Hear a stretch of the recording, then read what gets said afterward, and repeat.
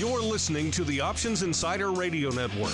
For more quality options programs, visit www.theoptionsinsider.com or search for Options Insider Radio Network in your podcast provider of choice. Listeners can also access all of our programming through our mobile app, available in iTunes and on Google Play. Don't forget to follow along with your favorite programs and submit your own questions for the hosts at twitter.com slash options facebook.com slash The Options Insider, or via questions at theoptionsinsider.com. Welcome to Volatility Views, the premier program for volatility traders. Each week, we'll take a deep dive into the world of volatility with in depth analysis, trading activity reviews, strategy breakdowns, cutting edge education, and much more. We'll also bring you exclusive conversations with the traders, researchers, and asset managers who are reshaping the volatility landscape. If it involves volatility, then you'll find it on Volatility Views. Volatility Views is brought to you by CBOE Live Vol. CBOE Live Vol is the leader in equity and index options trading technology, providing professional and retail traders with the most sophisticated options risk analysis, compliance, and trading tools. CBOE Live Vol offers a broad spectrum of advanced trading technology, including the Live Vol X, next generation execution platform, and Live Vol Pro, the new standard in options trading front Visit livevol.com for a 15 day free trial today. And by Russell Investments, the home of Russell Indexes, which calculates approximately 700,000 benchmarks daily, covering 98% of the investable market globally, including more than 80 countries and more than 10,000 securities. Approximately $4.1 trillion in assets are benchmarked to Russell Indexes. For more information on Russell Indexes and RVX, please visit russell.com slash indexes. And now, it's time to take a deep dive into the world of volatility. It's time for Volatility Views. All right, everybody.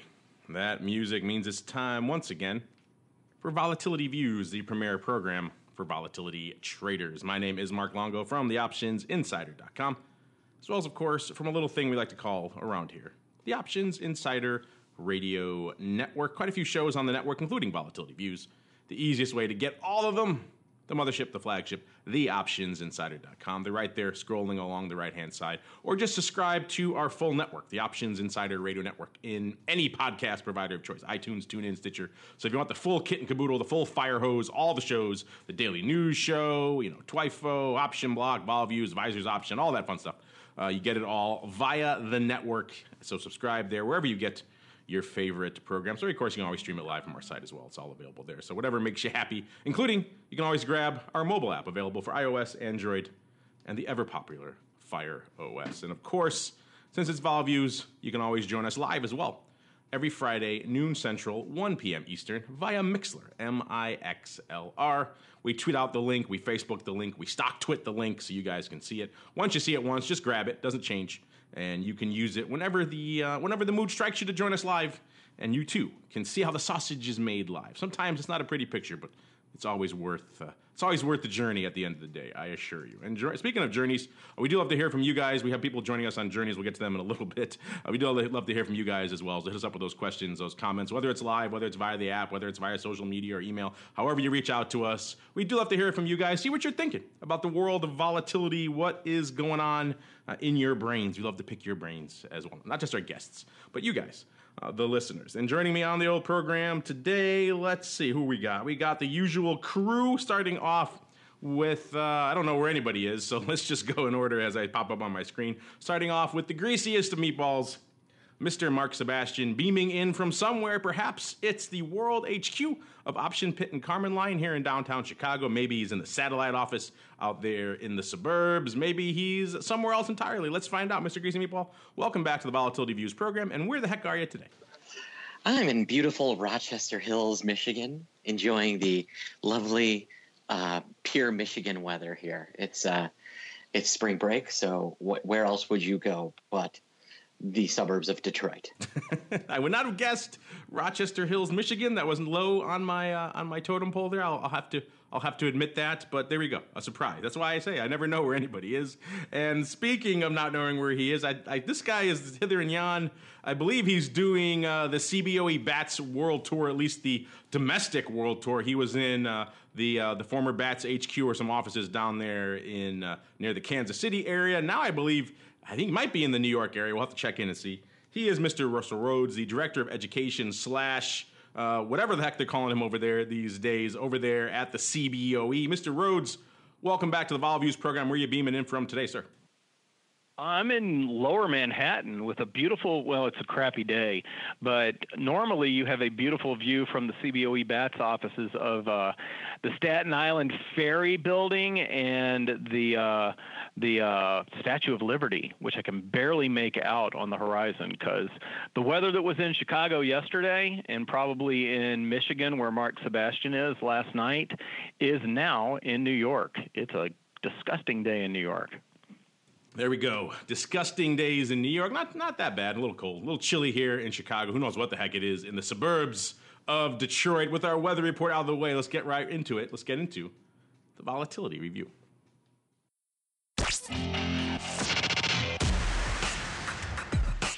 It's time to break down the latest developments in the volatility trading world. It's time for the Volatility Review.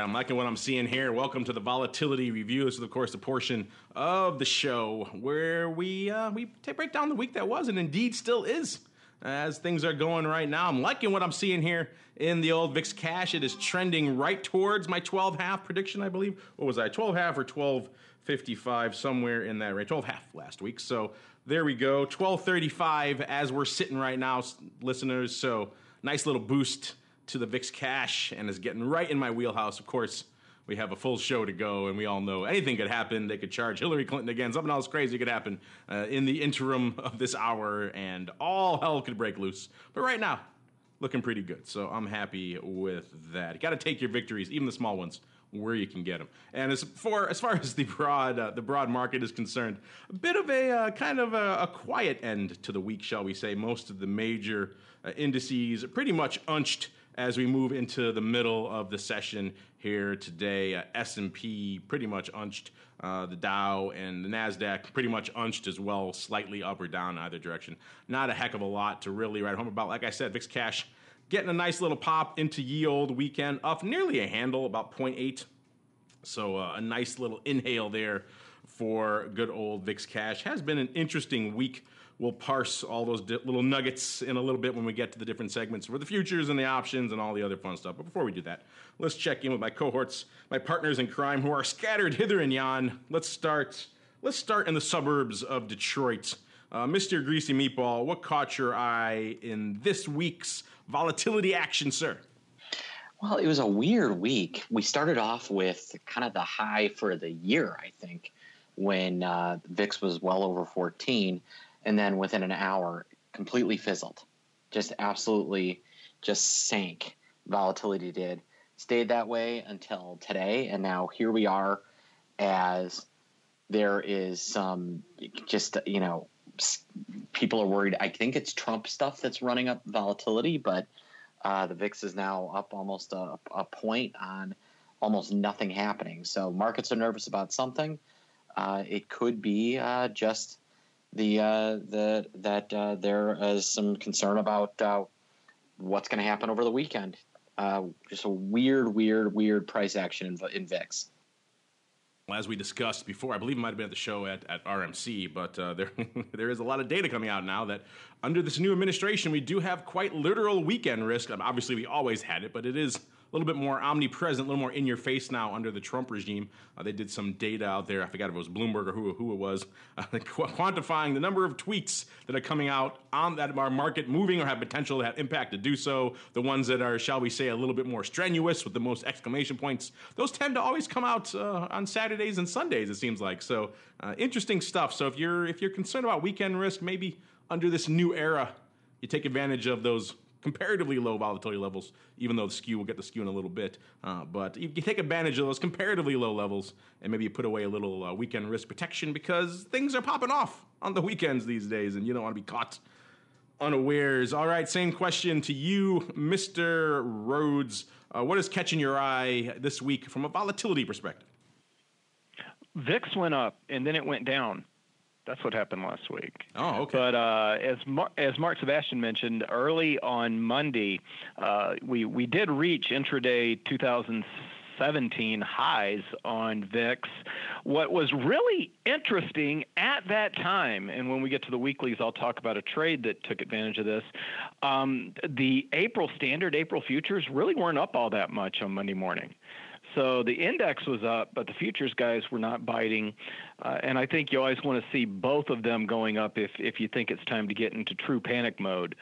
So that that was kind of a it might be a lesson for some of the newbies.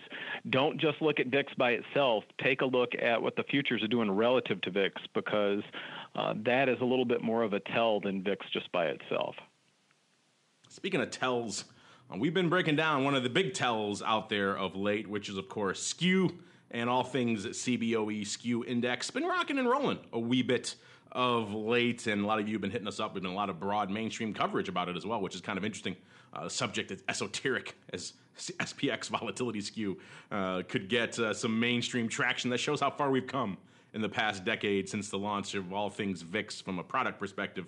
Uh, even the mainstream press can get wrap their heads around something like volatility skew, which is always always encouraging, if also a little bit terrifying at the same time. Uh, but that said, we talked a lot about skew uh, on the last couple of shows. We had a deep dive on TWIFO last week. If you missed it, I encourage you to check that one out. We kind of went into detail. We touched on this study a little bit as well, but I thought it was worth bringing up on VolViews as well because this is kind of our home for all things skew. And an interesting study. A lot of you write, write into us all the time. You know, what is the efficacy really of skew? How should I utilize this? What is this really predicting? And you know, the the standard response to a lot of that stuff is this is ostensibly the predictor of interest in or hedging interest against, you know, some sort of tail risk event. And uh, there's a lot that goes into that. We've mentioned that before on Skew, all the different contextual things that go into it. In fact, I think we have a, a listener question along those lines a little later, so we'll get into that again. Uh, but that said, we uh, we an interesting study. I think this was done by uh, Pension Partners and uh, they're looking at the uh, all this talk about skew. Let's let's look at the data, the hard numbers, to see exactly how much of a predictor skew actually is to these things everyone's worried about, aka the black swan or uh, the tail risk events. And they broke down skew in a variety of different ways. We'll include the link in the show notes. I encourage you to check out the uh, the study as well. I don't have the title of the study right here for you. Others, I tell you how to Google it directly. Uh, but effectively, what they found was that skew, even in these moments like we saw a week or two ago when it was in the upper echelon, the top 5% or so, isn't any really more of a predictor of tail risk uh, than other times when the skew is at different levels. In fact, even lower skew levels uh, is, is sometimes more of a predictor, which is kind of interesting. They have a lot of charts and graphs here uh, that go along with it. Uh, let's see, let's see if I can break down some, some highlights. They said in every period, uh, from one day through 12 months in their different breakdown here.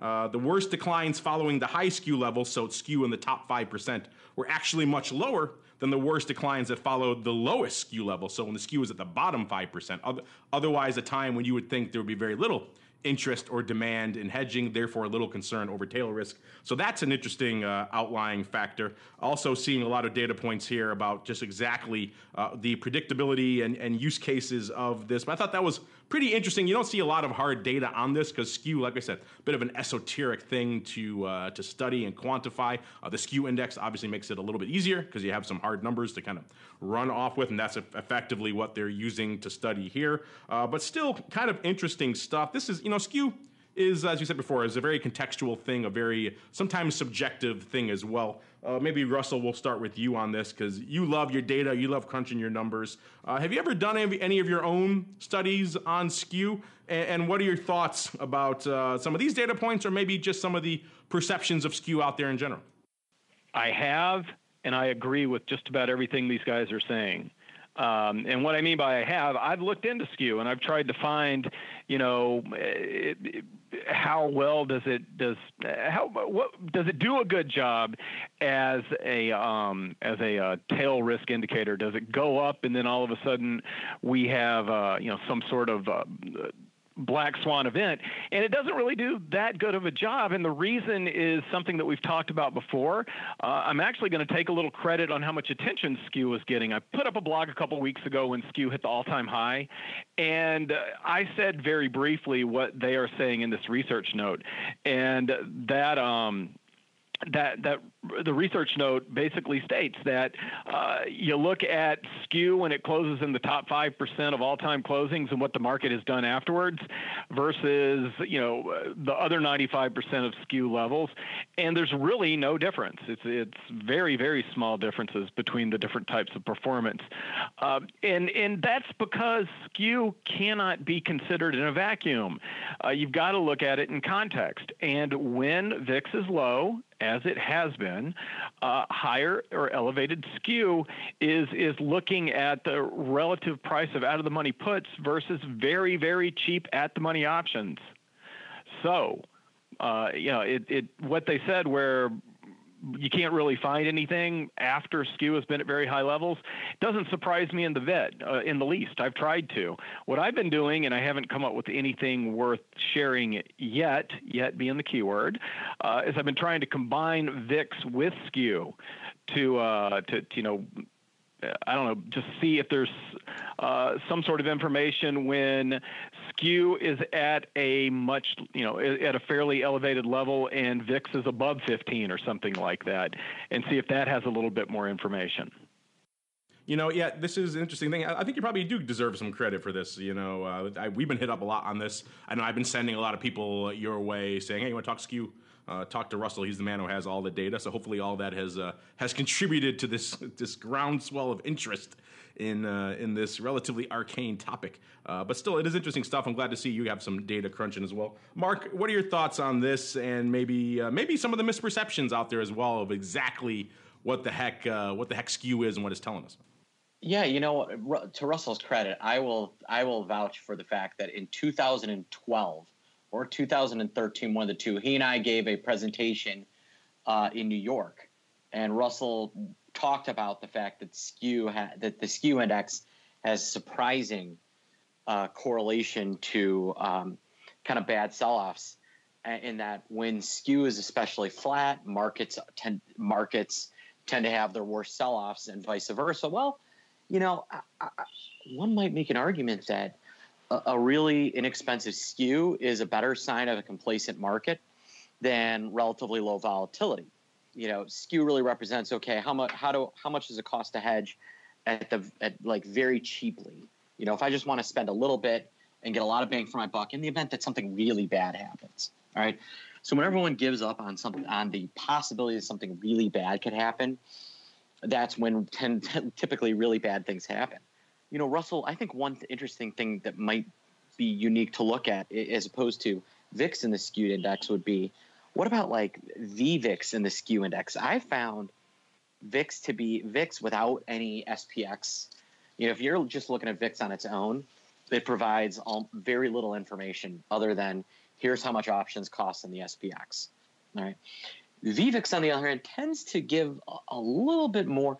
It, it, tends to actually, I think, have a little bit of a leading effect on VIX and a little bit of a leading effect on the S&P 500. So I'd be interested to see whether an ultra low VIX combined with an ultra low skew or vice versa leads to to anything or flip flopped high VIX with a flat skew index, things like that. Um, that that could combine because I, I think there that's where there's I think there's a lot more information in these secondary derivatives than there are in the first. And VVIX obviously is vol of vol. It's essentially a, an index on a second derivative. And uh, skew index is kind of the same thing.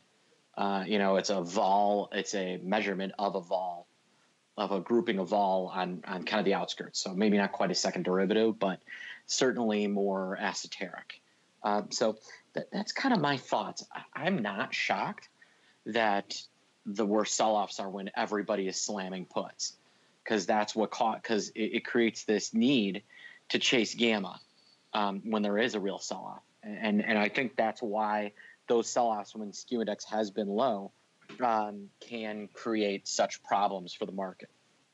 Um, just uh, a couple of other things. First off, I don't recall if I mentioned I actually tweeted out the link to that story. I forgot to tag uh, the two marks on that one, so maybe if uh, the uh, the Option Insider Twitter uh, Twitter handle can retweet it. That'll help everybody that's listening right now because uh, it's a great study. I, I, enjoyed reading it this morning on the plane on the way over here, and uh, it, you know, it just it it kind of confirms all these anecdotal things that I'd seen within the market. Uh, something else that kind of confirms what Mark Sebastian just mentioned. He was talking about if you've got the protection on it, kind of uh, it, it means that people are prepared for the shock, so we don't get the shock. Uh, one of the best takeaways from our risk management conference a few weeks ago was a portfolio manager that said he has been uh, hedged for a five to ten percent pullback for some time. He's been doing it fairly cheaply, and knowing that he has that hedge on allows him to continue to be aggressively buying stocks. So you know, if if everybody's got, uh, you know, it's it, I guess if we all had crazy homeowners insurance where we're where we don't care if uh, our house, you know, gets completely destroyed, maybe we're willing to have a kegger. You know that that is a good point. I think we brought this up on this show, or maybe it was Option Block before too. But it is kind of that that difficult to quantify aspect of I think he referred to as bullets is what we always used to call it. You know, on the floor as well. You want to have some bullets in your back pocket for when uh, for when it all breaks loose. You still have something you can fire back at the old walk-in broker when he walks in and says, "How are they now?" It's a nice feeling to have some of those bullets still in the chamber, and that's kind of what he was referring to uh, with that. Is also that just that that freedom of mind to say, "Okay, I'm hedged, I'm protected. The strategy is, is not done, but at least it's it's somewhat uh, capped here. I can maybe focus on some other things. There's a little bit of that mental capital you're able to allocate elsewhere to. Again, how do you quantify any of that? It's very challenging. It's very subjective, uh, but there is uh, that element to it uh, as well. So yeah, skew, endlessly fascinating topic, endlessly controversial topic. Uh, I think maybe we'll, I think there's some questions along those lines of context uh, if we get to those. So we'll see. But yeah, it's, it's, it's an interesting topic. I'm sure we'll we'll debate it again in the near future. Right now, it's gone to the futures. Uh, been interesting stuff. Just the evolution of the futures. A lot of that is coming from the term structure. A little bit flatter. A lot of that because the cash is popping today. Cash up like we said, nearly a full handle uh, this morning. So this term structure changing even overnight from last night, where you had nearly two points between the cash and about a two-month future. Now it's it's down to a little over a point, about a point and a quarter. Again, line share of that coming from a nearly one full handle move in the cash. The future is not really moving around a lot today, so it is kind of interesting to see how that uh, how that term structure just evolves intraday sometimes and uh, even overnight as things are developing out there. Anything, anything on the futures front, uh, Mr. Doctor Vix, soon to be, uh, or Greasy Meatball, before we move on into all things weekly? Yeah. How, how no, about the let, oh, Mark's oh, going. Go, Mark. I was going to say, Go. how about uh, the fact that the September future is 16 and a quarter right now? So you can go all the way out to September, which is six months from now, and buy a future that is what amounts to four handles higher. That's it and is sub 16.5%. That is just crazy. The back end of the curve is just so cheap, um, shockingly cheap. And um, notably, September and, in August, in my opinion, seem too cheap relative to a, a 12 VIX. Uh, I, I, think that's a real problem.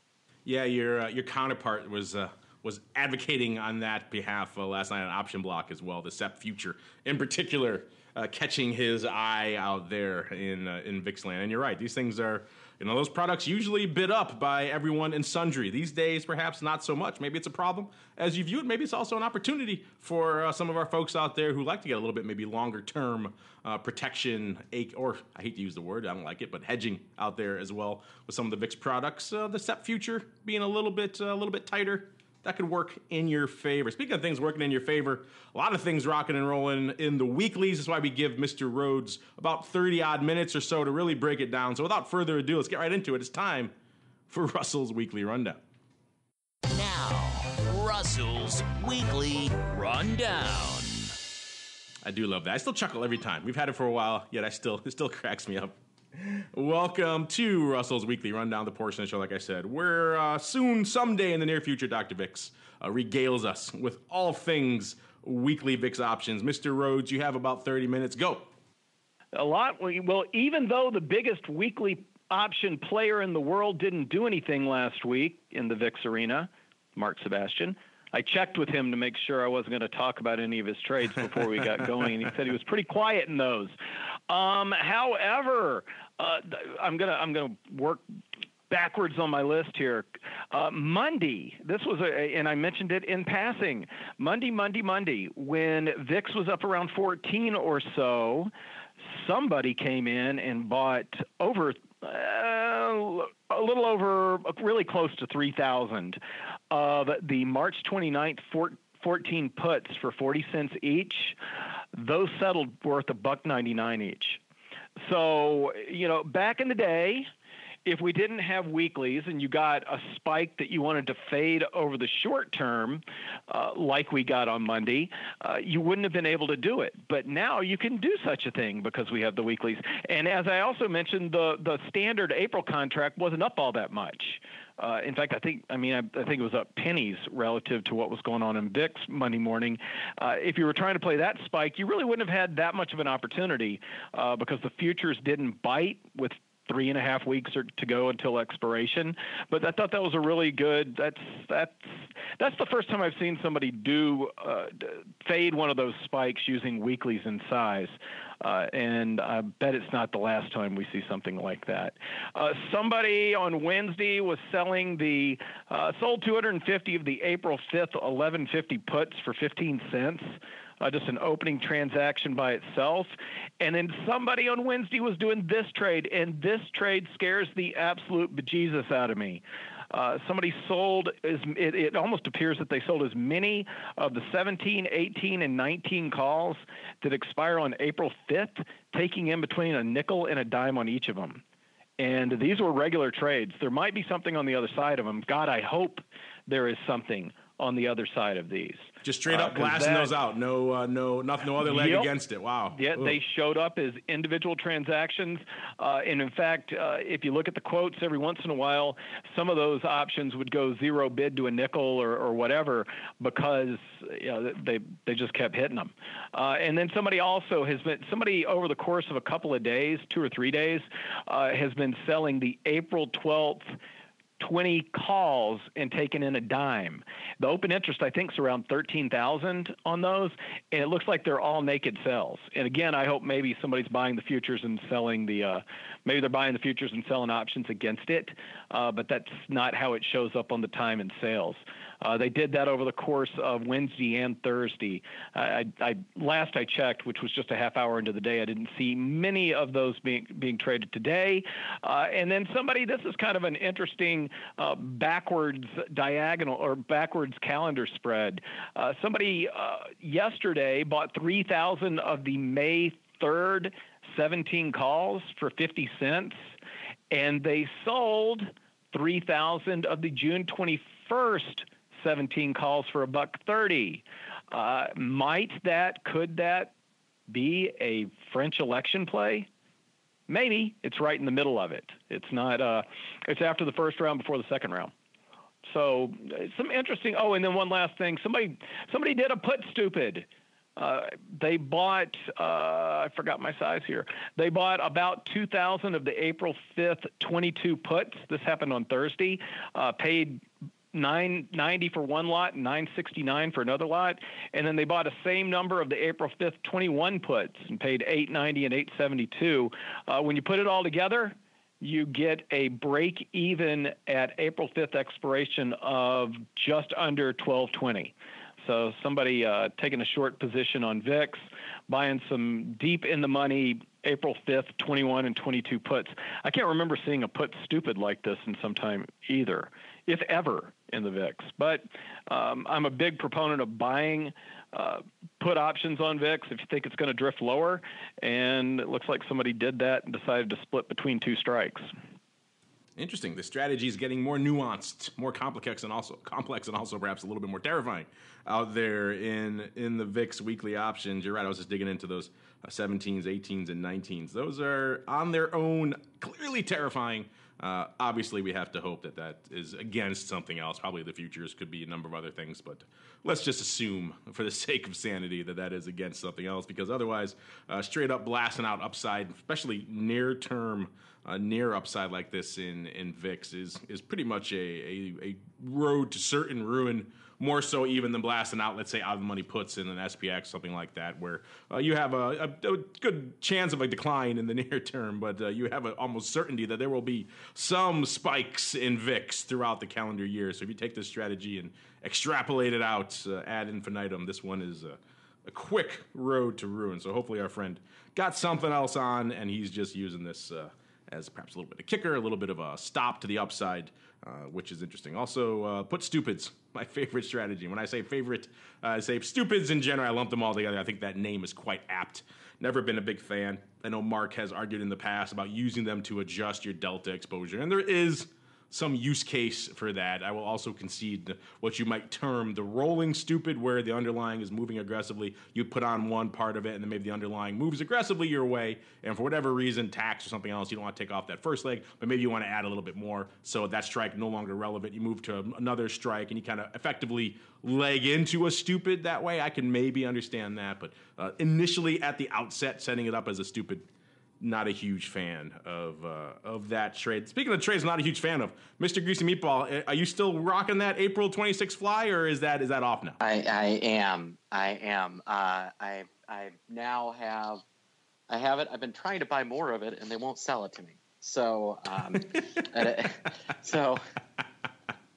It's either a great problem or something weird, or maybe well, a little bit of both. It tells you, you know, obviously I'm trying to get a slightly better price, but but I think it tells you that uh, it was not an ill-advised uh, an ill-advised trade. Are you trying to buy on the bid me, again? I told you before. That's not how it not works. giving me any deals. But I'll tell you, you know, I did spend most of the day uh, this morning kind of on the open, trying to shut down a bunch of my um, short vol exposure. Just feels weird with the price action in VIX today. Um, I just don't feel. I'm not sure that the weekend risk is worth it, and uh, who knows? I may try and add to that that fly a little bit uh, over the next couple of days. We'll see. If they'll trade with you, if you stop trying to buy on the bid like a greedy man, pay up a penny, sir. get uh, get up there. Stop squeezing these poor folks. They're trying to make a living too. Uh, all right, yeah, it has been interesting stuff, and I'm with you on that. On the uh, unknown unknowns lurking on the weekends, it seems like we're kind of the pump is primed for something weird to pop off, and uh, who knows in this environment.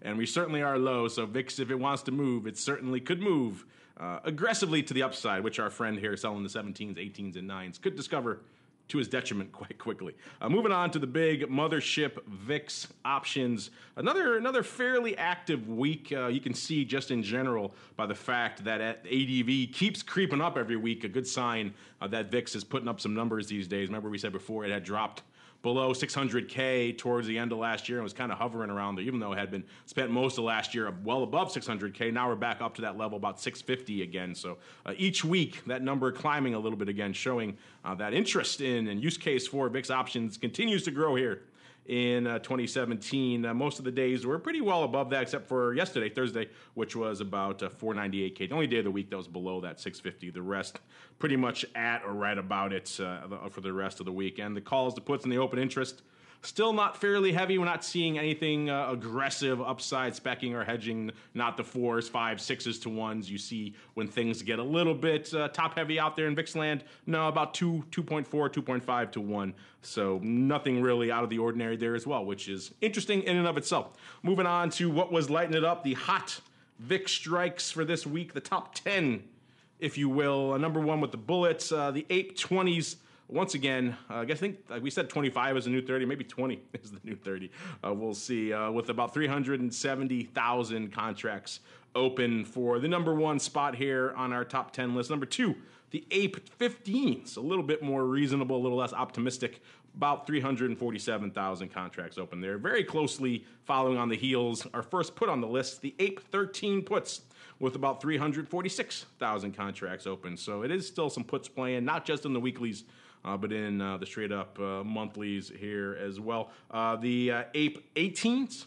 Also pretty popular. Number four, 322,000. Number number five, the second put on our list, the APE 12. So APE 12s and 13s, those 12 and 13 strikes have been very popular. We talked about them for a while. Back in March, they were very popular as well. That popularity continues now into April, 309, almost 310,000 contracts open there. Number six, the bottom half of our top 10, the APE 17, 302,000 contracts. And we drop off a bit to number seven. Uh, the APE 23 is getting a little bit up there now, 253, about a quarter of a million contracts open out there. Number eight, the APE 25s about 248,000, similar, almost exact same 200 contracts difference uh, for the May 20s. So getting some May on the board. Uh, the May 20s with about the same number, about 248,000 or close to it.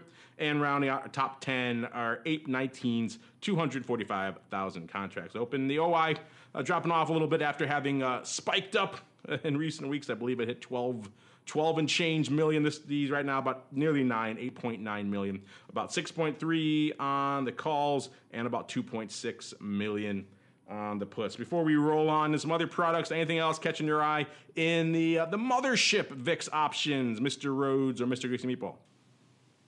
You know, if I have to quote one more call spread versus put, you said that last week. you should put that. You should put that, in your show window. I do not want these. I am not interested. Dude, Can't you indicate what me. you want and what you don't want? Well, Can't no, because because every now and again it gets close, but the guys in the pit are just willing to. Uh, it's been slow enough that the guys in the pit are willing to basically trade those things for next to nothing, um, and so uh, I, I I'm really sick of those. I've seen a lot of one by twos. Um, we did see uh, our uh, our Morgan Stanley guy come in and buy some uh, May, I think the May 20s for 49 cents.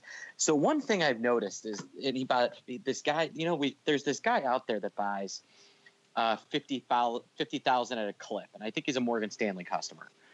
Um, what he basically does is wait for some somewhere in between any time an option between 17 and I don't know, 22 drops below 50 cents, he buys 50,000 of them. I'm not sure what his deal is, but uh, he never pays over 50 cents and almost always pays 49 or 48. And it's almost always the 18s, 19s, and 20s, and he buys them in clips. And so he's building this massive ladder of long vol. And it's got to be against a big, long portfolio. But uh, if you want to see how institutional hedging can work in in a call buying regime. Watch how this guy does it. He comes in, buys fifty thousand electronic, then a week passes, the next strike is fifty cents, buys fifty thousand electronic, basically builds up somewhere between a quarter of a million and half a million contracts. If the world blows up, uh, he is selling to the masses, and if not, uh, his equity portfolio is probably doing fine. Um, I don't know, Russell, you've noticed that pattern, but that that's been one of the that, that guy in particular. He's probably the biggest or sec, he's probably. I don't know if he's the biggest client, but he's one, if not the biggest, then one of the three biggest VIX trade VIX hedgers out there. And uh, I don't know if you've seen that pattern as well, but it, it's a fascinating, uh, fascinating watching how he builds a trade. Um, you know, the thing with that is you'll hear people talk about, you talked about it very well and very correctly, Mark. Um, you'll hear people talk about somebody buying VIX calls or how many VIX calls expired with no value, or somebody that maybe sold a put and bought a call spread and VIX was so low they lost money on that short put. But the part that you rarely hear people talk about, and, and the reason that we have so much to talk about for an hour every week, is that there's another part of the story, and that is what you said. It's that most likely this guy has long a, uh, you know, owns uh, a lot of stocks and is hedging against some sort of uh, move to the downside. And they've lost money buying those VIX calls. But as Donald Trump has been making America great again and stocks have been rallying, they've been making money somewhere else. That's always the mystery of all these all of these VIX trades is there's usually another leg hiding out there in the ether, and sometimes it's hard to intuit or divine exactly what that is. Speaking of divining intentions, that's our job now. We have to figure out what the heck you're talking about because it's time to break open the volatility voicemail. It's time to share your thoughts and opinions with your fellow volatility traders. It's time to check the volatility voicemail. Make your voice heard by dialing 779 669 4VOL. Posting a comment on the optionsinsider.com, sending an email to questions at the theoptionsinsider.com, right. or posting your questions to twitter.com slash options or facebook.com slash the options insider. All right, everybody, welcome to the Vol voicemail. Like the man said, this is the portion of the program where we break down what you guys want to know about in great and grand detail. By the way, I did neglect to hit the commodity vol. If you like commodity vol, tune into Twifo. A little bit later today, we get into that great deal. Long story short, oil vol, aka OIV, still kind of in the doldrums after spiking a couple weeks ago, right around 28, 27. Uh, right now, again, below that mid to high 30s where it spiked up to a few weeks ago. Uh, back on some of those surprise numbers. Ever since then, hasn't been able to maintain those levels. Uh, gold right around a GVZ, aka the gold VIX, right around a 12 or so. And your old friend TYVIX, we don't talk about a lot on the show here. Maybe we should. 4.68 or so out there right now. Let's get on to some of your questions really quick before we get that. Get to our question, uh, which is uh, coming to a head next week, I believe, which is our, our big playoff, our tournament is dwindling down. We pitted all the various brokers against each other. What a battle it has been. Some interesting upsets along the way, some interesting fights. Uh, I think the, the TradeKing Lightspeed one was a really fun one to watch. That was a lot of back and forth uh, on that one. So we've had some good fights along the way. Last year's champion TradeKing got dethroned. Some other surprises, uh, some other squeakers like Option House coming in and dethroning uh, interactive brokers and things like that. So a lot of upsets. It's been fun to watch the back and forth on this. We are down to our final two. Uh, I will allow uh, you, you two guys to guess if I haven't already spoiled it for you, if you haven't looked at the show notes. Uh, wh- who you think our final two that will be going head to head in are in our big Broker Madness, which comes to a head, the final battle ending uh, this starts over the weekend, I believe, ends, I believe, on Monday. Uh, who do you think is uh, is rocking and rolling? Maybe Mark, we'll start with you. Who do you think our final two competitors are? Well, I saw you tweeting about it. I know Lightspeed is one, and then um, I wanted to say you had uh, OptionsHouse again is the other one. Does that sound about right? Interesting, Mr. Rhodes. What are you feeling, sir? Lehman Brothers and Bear Stearns. yes, old school. Very old school. Uh, unfortunately, no to both of those. That would be an interesting one if they were to make a resurgence onto our list, but it was indeed uh, Mr. Meatball. I think it was his early and often voting for Lightspeed that put them over the top. Either way, it is indeed uh, Option House versus Lightspeed. It was shaping up for a while if Lightspeed didn't pull it out, that it would have been OptionsHouse versus E Trade, which would have been an interesting showdown. And in fact, I think they were tweeting to that effect over there at E Trade saying, oh, we, we want us to battle each other, which of course they do. That means one of them wins at the end of the day. Uh, but that said, yeah, that showdown is kicking off. Uh, it starts today, actually. Uh, the 31st is going to be that uh, final round, ending all the way through the third. So you have pretty much over the weekend. I believe it will end, if my dates are correct. Yes, it will come to an end. We will reveal the winner live on our option block program on Monday. So tune in to see that. And by the way, you guys can vote. It is fun to vote for and or against your favorite broker. You can vote on your platform of choice. Twitter is where the main poll is, but you can vote in other places via email. You can vote via Facebook, via StockTwits. It's a little more laborious to do that. You have to write in and say, I want this candidate but you can do that if you want, even though the main poll is over there on Twitter. And also worth noting that uh, you have to do something we can track in order to win fabulous prizes. So you have to retweet, we have to like, you have to do something like that because we can't unfortunately track who's voting. And so then if you want to win fabulous prizes, you know, the Amazon Echo and some of the cool insider gear and all the swag we get from different events and stuff, you want to access to all those cool fun prizes, like, retweet, do all that fun stuff. And when it's all said and done, we'll put it all into a big hopper and we'll pick the three winners and it will be uh, will be very fun. So look forward to that. Who knows? Maybe we'll give the winner a nice fun a fun uh, the broker maybe a nice fun plaque or trophy or something like that. We'll see. It's just always fun to pit them against each other and see who wins. You guys always have to take it from your brokers. Now's your chance to give it back. So go ahead, vote while you still can before it expires on the third live on the option block program. All right, let's get into some of your questions here. See a lot of ones about this of late. Uh, I think this is worth I think uh, I think we chatted about this topic a little bit uh, on the option block. We got another one coming in a similar realm. This is from uh, Checker, Checkers King. Man likes his checkers. He says, uh, I see a lot of folks talking about moving averages and support and resistance levels in VIX is this kind of, uh, I think he means technical analysis, useful with VIX, or is it apples to oranges? I think I know where he's coming from. There was a, I think it was a big article, I think it was Bloomberg or something last week writing about exa- this exact thing. Uh, VIX had broken through some moving average to the upside. I think it was 200 day moving average the first time since December or something like that. And they were they were giving this milestone a lot of credence and a lot of significance. And I'm sure people like Checkers King saw this and some of the other articles and writing. And this is the topic we've debated before.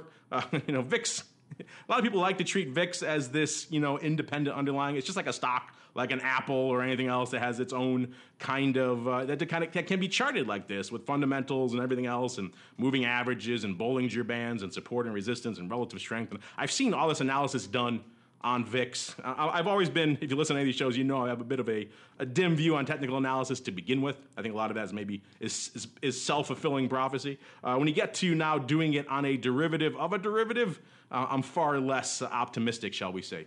Uh, on the outcome, you have a product that is that is is completely its own beast. It is the implied volatility of another derivative. Uh, the notion that it somehow still adheres to these technical analysis laws I think is a little bit laughable. I don't know. You guys might uh, you guys might chime. I believe on one of the other programs, um, I think it was Uncle Mike who chimed in, and he thought it was like trying to do technical analysis on the NAV of a of a mutual fund. I thought that was an interesting viewpoint on it. it. Is a similarly abstract type of concept, uh, removed from derived the value from another product. Not quite a derivative of a derivative, but somewhere along those same lines. Uh, but that said, this is a topic of conversation. I'm sure we'll get it again. Let's get out there our thoughts on it now. Let's start with uh, with you, Mr. Greasy Meatball. I, I think you're. I'm gonna go out on a limb and say I think you're in my camp. Yeah, you know, I, am not a big technical person across the board. Um, you know, you see some guys who really know. The only thing that gives me caution is I, you see some guys who really, really know options talking about RSI a little bit, relative strength. Um, so maybe there's something there in terms of just options themselves being overbought or oversold. But uh, you know, it's uh, you're you're right. It, it, most of the most of that that stuff is is pretty dubious. Uh, if you want to know even more laughable, is watch somebody try and run technical analysis on VXX or UVXY. That is just embarrassingly bad. Yeah, I have seen those too. You're right. It seems like every underlying is is equivalent in its ability to be somehow charted and graphed, regardless of what the heck that underlying actually is. Uh, I'd say, Mr. Rhodes, uh, due to your wanting to become a Dr. Vix someday, I'd say maybe of the three of us, you're probably most prone to be a pro TA, as our listener puts it. So, so what are your thoughts here on the the the uh, maybe on technical analysis first off in and of itself, and then B on its use case or perhaps lack thereof when it comes to VIX? Well, I'm I'm a big fan of technical analysis, especially for shorter term trading. Um, I don't think it applies to VIX very well, but I do think that VIX, uh, using VIX versus the futures, using VIX versus the three month version of VIX, VXV, I do think there oh, are oh, for sure. Um, there, there's some benefits in that. So I, I think, agree. and and it's funny that you mention that because a week from today, almost at this very moment, I will actually be speaking at the Market Technicians Association's annual um, symposium talking about all the different volatility indexes in, in their use in technical analysis. Well, there we go. So I, I, yeah, I do believe in that as well. So, but not using it with respect to to, to VIX. I, I just don't see it working at all. I'm sure we uh, offended all those people at that conference now with our comments. I look forward to them writing in and telling us why we're wrong at great length about uh, the myriad technical analysis use cases uh, for. It's interesting you say you like it in the short term because I think that's what really beat a lot of my my uh, interest in technical analysis out of me was when I would try to use it, and lot, I saw a lot of people trying to use it for this similar use case on the trading floor, which is around gamma hedging and gamma scalping and trying to use every indicator you could possibly use under the sun to try to set up your gamma scalps and seeing every single one fail is kind of what pretty much broke me over time very painfully of my interest in technical analysis. Interesting to see you like it on the short term. Uh, we'll have to discuss that later. Meanwhile, let's move on to another question. This is kind of, I think, related to what we were talking about a little bit earlier with Skew, and he gets to go on the show just because he has, I think, he has the handle of the week. Because comes from this comes from Mustache God. I just like that.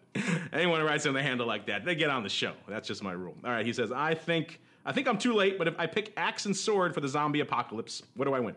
Uh, just kidding. Yes, you are too late. You missed that poll. I do believe I do believe rifle shotgun won that poll, even though I clearly pointed out to people who asked us, you do not have unlimited ammo. So I said, bear that in mind with your choice. They still went out and picked rifle and shotgun. I don't know if you have only like a, you know, let's say a few belts worth of ammo for a uh, for a shotgun, how useful it's going to be in the zombie apocalypse. I'm more in the Axord camp as well. But hey, uh, c'est la vie. Who am I to argue with the votes of our of our listening audience? All right, he goes on to ask his real question. He says, but if I'm looking at the end times indicator is there one that is better than the rest, or is it all about context and grouping multiple indicators together? Now he's writing in about skew because that's what that poll was. We were joking about skew, high skew, signaling the end of times, aka the zombie apocalypse. That's where that whole thing got started. Uh, so he's asking about skew in particular. Is skew better uh, than the rest in particular? You know, but this this kind of gets back to what we were saying before, and what we said so many times on the show, particularly in the volatility space. It is it is almost impossible. I would I'll go out on a limb and say it pretty much is impossible to divorce one indicator from the context surrounding it. We talked about skew. How many times have we talked about just skew alone on the show in the last few weeks, and how many different things can impact that. Remember, it's an equation. There's a numerator and a denominator, and what happens in both of those affects the actual equation. So if it's aggressive call selling, regardless of whatever else is going on in the market, the market's just sitting there, and a bunch of funds come in dumping calls. Guess what's going to happen? That skew is going to change as a result. That doesn't indicate more tail risk concern, uh, but we're that could that can in fact that could be what happened a few weeks ago. There was a lot of call premium kind of coming in and getting dumped, and calls getting a little bit more depressed than usual, hence skew higher. So these all these things divorced of context really uh, are hard look, let alone where the VIX is, where the SPX is, all these other levels where implied vol, all these other things you have to kind of put into that equation. Otherwise, I think just looking at one of them, oh, skew is 160, end of the world. You know, any of the VIX is whatever, 28, end of the world. You know, any of these things in and of themselves, uh, it's kind of hard to see the uh, the pure utility of that by itself. Uh, that said, let's go back around the horn. Let's start with same order. Mr. Meatball, what do you have to say for our uh, our ridiculously awesomely named mustache guy? Um, one second here. I'm sorry. I asked Russell first. okay, you're getting caught up in all the doings going on in the suburbs of Detroit. I understand. It's a hot place to be, fun place, a lot of things going on, easily distracted. Let's move on to uh, Russell, who's in the comparatively quieter uh, downtown New York into Manhattan. Uh, Mr. Rhodes, what do you have to say for our friend here? Wants to know can you look at Skew or VIX or anything else kind of independently and get pure meaning? Is there one that's that is the leader of that, or is it really all about context? It's all about. Did you say is it all about context? Yes, I did. Because that's what I was going to say. Yeah, it's all about context. I yeah, I, I'm going back. Like I mentioned, I'm doing this whole thing on how you can use um, you know, volatility indexes for for technical analysis purposes, and I actually think and actually I know from some studies that I've done that the longer dated implied volatility uh, does lead, like VXV does lead VIX. Uh, and when it's at enough of a premium, you're going to see VIX do some catch up as long as it stays there. So that relationship right there, I don't want to say that it's an end times type thing, but let's say we had the whole curve shift higher and then VXV remains higher while VIX comes in, uh, I might take that as an indication that we're not quite out of the woods yet. Yeah, you know, Russell, I did uh, I did some analysis of just kind of looking at VIX versus VXV, and what I found is that uh, you know if you just look at that relationship, the two of those together, there's some some points where when it's really high, when that spread is really high, um, that has some uh, predictive things on the on the market, and when it the spread is especially tight, that has some predictive things on the market, and when it's negative. So when when VIX gets over VXV to a, a certain amount, um, there is a massive amount of of change in expectancy. So I, I this was kind of random, but if VIX gets more than five points over VXV, which does happen, um, since they listed VXV and uh, started posting VXV results in 2004, I want to say, you'd have picked up like an extra. Uh, this is off the top of my head, folks, so don't quote me on that. You'd have picked up like an extra 500 S&P 500 points. So there, there's, and it doesn't happen very often. So that that's how negatively expected. The other one, the other point I would say is, is as we kind of talked about, skew index maybe has some some use on its own. Um, but there's and maybe VVIX, but but really, you're better off just pl- paying attention to how they're all grouped. Um, you always want to, you know, in the end, they're all grouped together and they're all going to looking at them in context of one another is going to make you a better trader. Yes, I didn't even bring up VVIX, another one you got to add into that contextual equation. So, yes, so much context uh, to keep looking at Mustache God. Good questions to all of you who didn't get to them. I'm sorry. We read them all. We don't have a chance to answer them all. Sometimes we save the good ones for next week. So if you haven't didn't get read, don't worry. Keep sending them in. We'll get to you. And meanwhile, we got to keep on rolling into our final segment. It's time for the crystal ball. It's time to peer into the future and reveal what the volatility gods hold in store. It's time to look into the crystal ball.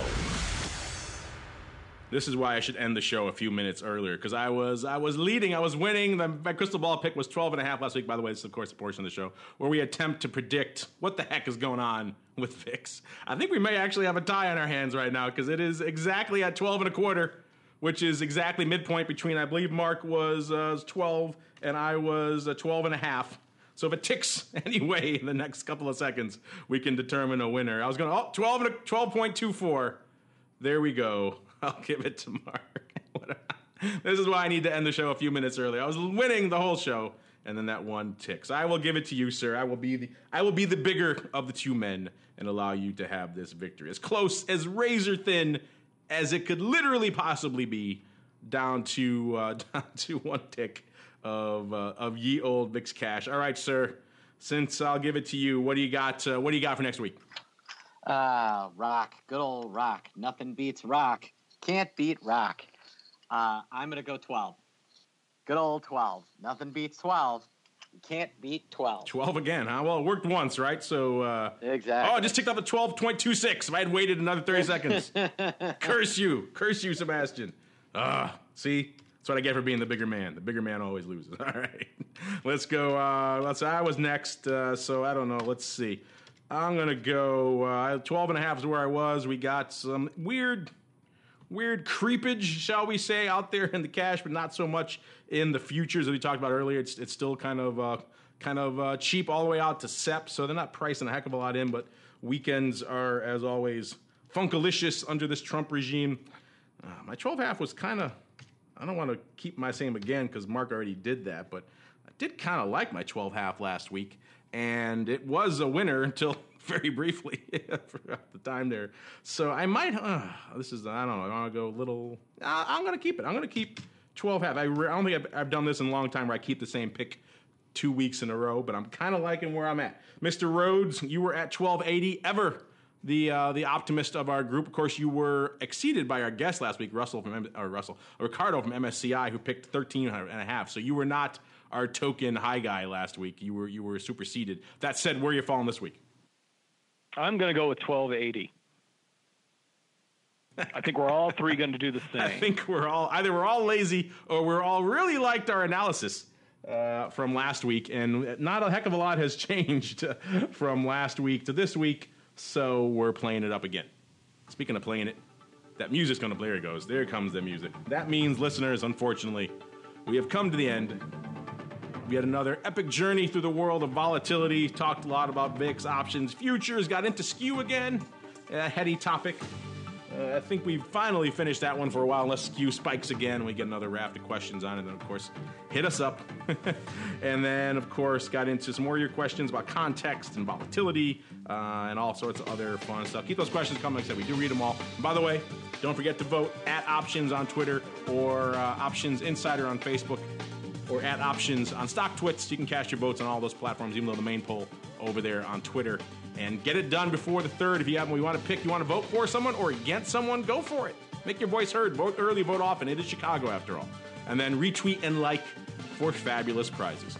And before we go and check back in with my cohorts, my partners in crime, let's start. Uh, let's start in all things LiveVol, Mr. Rhodes. In addition to uh, talking to a bunch of chartists about VIX, what else you got coming, and what's cooking in the land of all things LiveVol?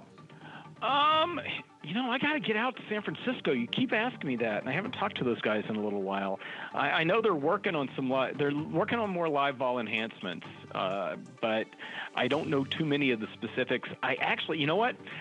I heard a rumor that there's going to be a, uh, a paper trading application that's going to be coming out pretty soon. Nice. So there. I did. Well, hear, and I, you- I did and hear you- that. and- Somebody else in the institute's working on that, not me. Well, well, and I know you can't you can't comment on this, but uh, you know, with Lightspeed being in the final the final two, um, I think it's Mhm. uh, interesting to point out that uh, LiveVol X, the uh, professional execution platform, was sold to um, Lightspeed. Uh, I believe Mhm. last week or the week before. So, uh, although CBOE will maintain some management of the product, uh, that was uh, an interesting piece that that that, that that's all going to be uh, under one roof uh, very soon. Well, I think it was officially Sterling. but I don't, I don't know. It's what's Sterling's brand relationship Yeah, to Sterling. That- Yeah, that- Sterling. Sterling Trader bought them. They are a uh, a uh, affiliate under the same uh, holding company, I believe. It's kind of what I thought. Okay, that wasn't. You never know how those how those brands break up. Yes, they were indeed. not uh, a brokerage firm. Yes, they were indeed. Uh, they were indeed sold. So they're getting a lot of little extra ink to Lightspeed, maybe helping them uh, push them ahead in our battles. Uh, so- oh yeah, by the way, if you want to check out more about uh, LiveVol, they of course have that cool data shop. Check it out, datashop.cboe.com. Uh, you want to quote some bespoke data? They got you covered. Datashop.cboe.com. And Mr. Uh, Mr. Greasy Meatball, what's cooking in the land of all things uh, weekly flies? weekly flies. Uh, we're going to be having our uh, webinar of the month on the 11th. Uh, you can sign up at uh, optionpit.com slash blog. I just posted a link under my trade idea of the week. All right, thank you for that, Mr. Greasy Meatball. Check them out over there, optionpit.com. Click on the blog, click on some of their trading ideas. Maybe you take a webinar or two. Uh, who knows? Maybe you too can join the masterclass over there at optionpit.com to learn more. And on behalf of Mr. Greasy Meatball and someday, somehow, Dr. Vix, and indeed myself, I thank all of you out there in the listening audience for downloading, streaming, subscribing. Of course, for all of you can join us live. We love you guys too. Keep those questions coming. We love to hear from you. And we'll see you next week for more volatility views.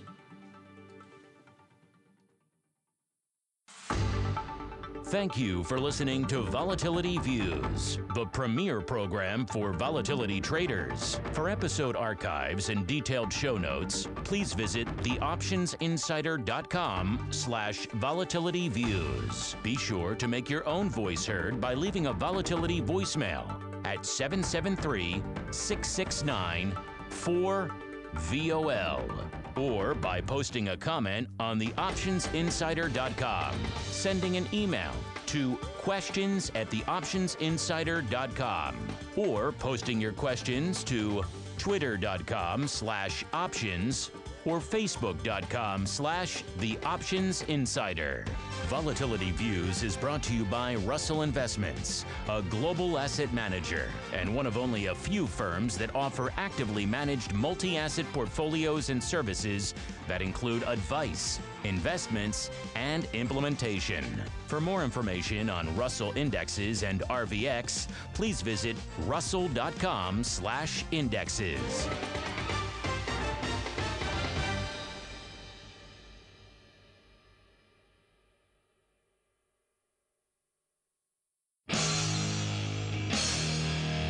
preceding program was a production of the Options Insider Radio Network. For more quality options programs, visit www.theoptionsinsider.com or search for Options Insider Radio Network in your podcast provider of choice. Listeners can also access all of our programming through our mobile app, available in iTunes and on Google Play. Don't forget to follow along with your favorite programs and submit your own questions for the hosts at twitter.com slash options, facebook.com slash the options insider, or via questions at theoptionsinsider.com.